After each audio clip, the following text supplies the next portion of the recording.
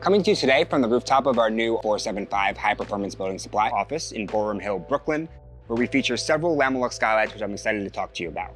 This project featured party walls on three of its four facades. We were very limited in our ability to bring in natural light via windows. For this reason, we relied on skylights, including this Lamilux FE circular unit, to bring in natural light, heat, and illumination to the space below.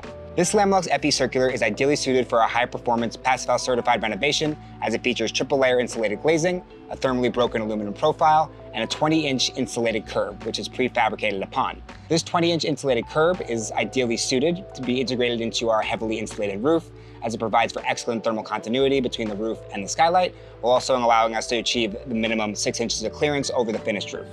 The triple layer glazing and the continuously insulated aluminum profile provide a thermally continuous assembly, which minimizes thermal bridging and prevents heat transfer through the skylight opening.